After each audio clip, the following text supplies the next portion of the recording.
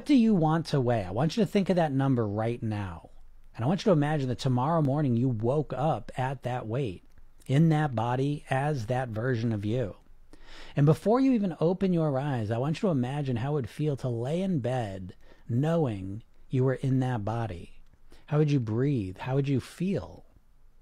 Now imagine yourself hopping out of bed and getting dressed in the exact outfit you would like to wear.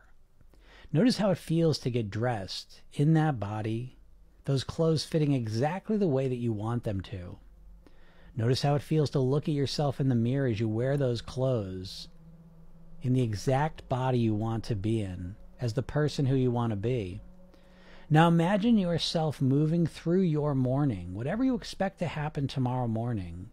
Imagine it happening at this weight in this body, as this version of you as you move through your day. How you breathe, how you hold yourself, how you move.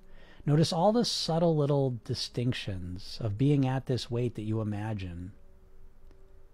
And notice how it feels to speak to people, how you hold yourself, how you work. Notice how you feel as you move through your day, how your voice sounds. Connect to this version of you. How do you imagine it's going to feel? And feel that right now. Allow that feeling to seep into every cell of your being so that you can feel yourself begin to vibrate at that level. Think as that version of you. Act as that version of you. So that before you realize it, you naturally begin to act this way in real life.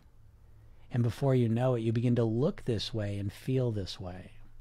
Because it all starts with your imagination and connecting to the goal that you want to achieve. And if you want to go deeper into this process, click the link in my bio and get the complete full hypnosis session I made for you. It's completely free. It's called The New Thin Me, and it's going to help kickstart your weight loss.